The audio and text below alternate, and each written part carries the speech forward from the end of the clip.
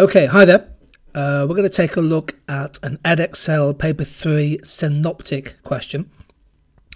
And again, go through some of the techniques that we think are, good in terms of getting good marks for KAA, knowledge, application, analysis, and strong evaluation marks in the 25 mark question. This one is a slightly quirky topic. It's examined the micro and macroeconomic influences on the international competitiveness of the UK motor vehicle industry. Chosen this sector because it's one of those industries likely to be most affected by the Brexit vote and, of course, the, the, the subsequent negotiations and uh, the, the movement, painful at times, towards some sort of new trade deal. Edexcel paper 3, the 25 mark essay question at the end of each data response question, marked on levels and uh, you have two essay style questions to write, one from section A, one from section B. A choice obviously in each section. There are 16 KA marks and 9 evaluation marks, and the key really is to get to level 3 on evaluation and level 4 on analysis if you can. Remember to define key terms in the question when you when you can. There are certain key STEM words that can often be a focus for evaluation. Our recommendation is that you build three KA points and three evaluation points. At least has one has to be micro at least one has to be macro. And crucially, and this is what we're going to focus on in this video, really try to build chains of analysis. Chains of analysis are crucial to getting a, a, very good quality answer out on the exam paper, under the pressure of time, of course. Diagrams can be useful. I've got one coming up for you in a few minutes.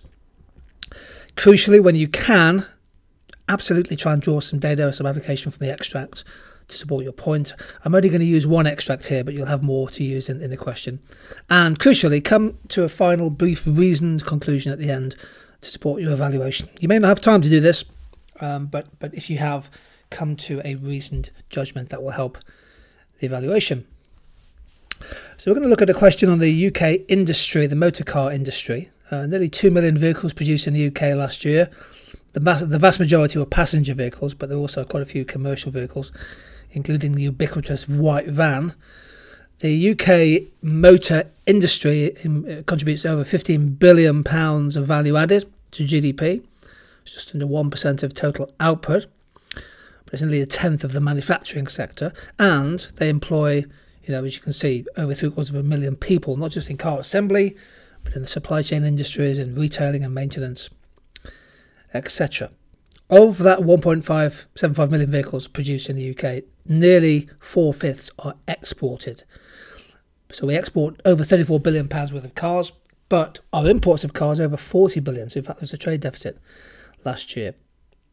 A huge number of auto parts and components come into the UK, worth over 11 billion pounds, most of which were imported from the EU 27, which of course is the 27 countries left in the EU after the UK leaves. There's a bit of background there, and we will use that data as part of application where we can in the answer. Okay? So the question is examine the microeconomic and macroeconomic influences on the international competitiveness of the oil of the UK motor vehicle industry. So, um, where you can, you have to define key terms. It's good to define competitiveness at the start. Competitiveness is defined as the ability of businesses to compete successfully and profitably in both price and non price terms across international markets. That's a good definition. It's clear, it's precise, it's right. And then I go on the core measure of cost competitiveness is something called relative unit labour costs, UK labour costs compared to other countries. Or they can other indicators can be used. Car making in most countries is oligopolistic, so non price competition, product design, product performance, branding, environmental impact, things like CO2 emissions, also important in terms of selling cars and vans, not just in the UK but in overseas markets as well. Start your answer with a definition of what competitiveness means. Then you start to build your analysis. In each of these cases, I'm going to take through the chains of reasoning approach. In other words, what you're looking to do is using connective phrases. You're looking to build an argument and not try and miss out too many links in the chain. The red text reminds us that we're signposting in the exam. We like to signpost, tell the examiner exactly what we're doing. That gives them confidence that you're going to write a quality answer. So, one microeconomic influence on cost competitiveness in the industry is the growth of productivity of labour, people working the industry, are efficient.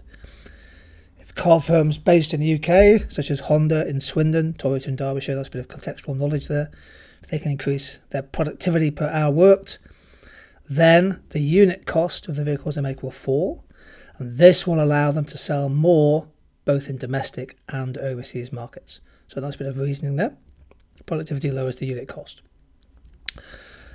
How do we get there? Well, productivity might be improved by improving human capital through skills training and uh, leaner manufacturing, just in time manufacturing techniques. An improvement in productivity, ceteris paribus, other things being the same, will lower the marginal and the average cost of making each car. Nice bit of theory there, a bit of relationship. And this then allows, it's a connective phrase, car makers to cut their prices, but still making sufficient supernormal profit to reward shareholders. So you can increase productivity, you can become more competitive, charge lower prices, and make more profit to reward both workers and shareholders. There's my first chain of reasoning. That's how, so I'm going to start my answer. Then I leave a couple of lines. However, whilst higher productivity will help control costs, other factors might have a counter effect on relative unit costs. So although labour productivity might be going up, other factors might be offsetting that. And I give an example there.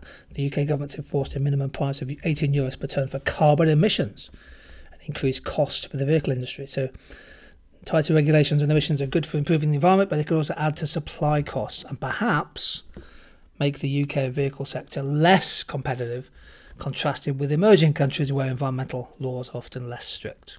That's a nice bit of evaluation about cost competitiveness. Then leave a line or two. Uh, a macroeconomic influence on cost. So when you're starting your second point, go back to the question and signpost to the examiner that you're making a macro point. Okay, that helps to differentiate between micro and macro on this synoptic paper. Okay. So a macroeconomic influence is the external value of sterling, the exchange rate, against the UK's main trading partners. Then a bit of application. Extract one. Now, actually, in the exam, I'd underline extract one. I'd double underline it so that the examiner is really clear that you're using the extract. Extract one mentions that 80% of cars assembled in the UK are exported. So the exchange rate does matter. After the June 2016 Brexit vote, sterling depreciated by 20% against the dollar, against the euro. Bit of a reasoning coming up, but this has helped to make UK car exports more price competitive because the foreign price of UK, UK cars will fall. This change in relative prices should lead to, chain of reasoning, expenditure switching effects, with overseas buyers more likely to buy British vehicles as they can get a better price.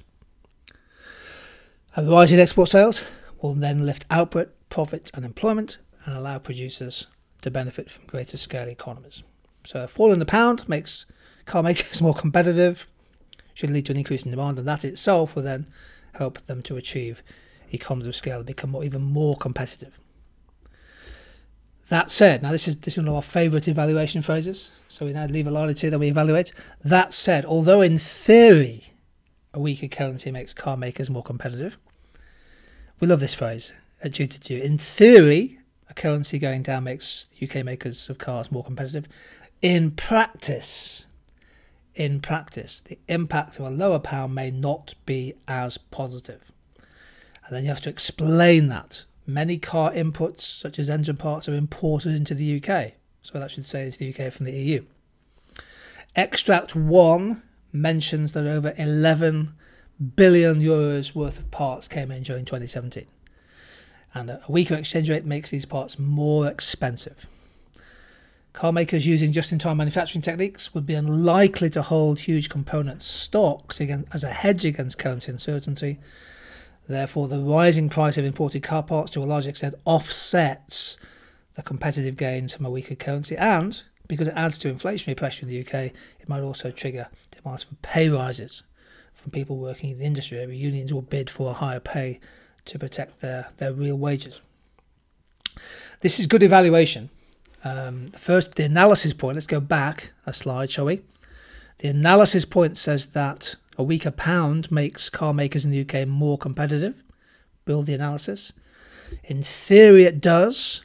In practice, other things are not the same. Imports become more expensive, and many exports require imports. So we're, we're, we're analysing and then we're evaluating with that in theory, but then in practice approach. Off my third point, uh, as a second macroeconomic influence, is uh, is continued tariff-free access to key export markets. So what makes businesses competitive is being able to access markets without artificial trade barriers. Let's see how I reason this through. The Britain is set to leave the customs union after Brexit transition in December 2020. That's good knowledge to show the examiner. Then I define a customs union. A customs union is a trade agreement between nations where they have tariff free trade between them, but agree a common external tariff, CET, coming into the EU. Now, should the UK fail to negotiate a trade deal with the EU, car makers based in the UK face the prospects of overcoming a tariff of about 11, 10 11% on all non EU vehicles. A tariff adds to export prices and, ceteris paribus, other things remaining the same, worsens price competitiveness, and this could cause a decline in UK car sales, and also the risk of lost jobs. And indeed, who knows, that may go further. Some firms, Honda, Ford, Nissan, may decide to relocate some of all of their production to lower labour cost countries inside the customs union. I've given three examples there. Poland, Slovakia, and the Czech Republic all have quite big scaled car industries with low costs of labour and low land costs. So, what's my point here? Tariff free access is important for the competitiveness of the UK car sector. And of course, once I've made that point, I can then put in a tariff diagram showing how if uh, UK producers trying to sell into the EU with a tariff will find it harder than if there was no tariff. However, although the EU is the dominant market for car exports at the moment, the government in Britain Conservative government is hoping that outside the customs union, Britain will be able to negotiate and complete new trade deals with other countries, China, India, emerging Asia, which will then increase the scope for exporting UK made cars to other countries. Indeed, uh, there's also the prospect that the EU and the UK will agree a trade deal. Theory suggests that countries continue to, to trade a lot with each other and with countries in closest proximity. So that's known as gravity theory. And game theory tells us that nations may continue to recognise the mutually beneficial gains from trade based on comparative advantage. So I'm bringing a bit of game theory into my into my synoptic answer to evaluate. Almost there.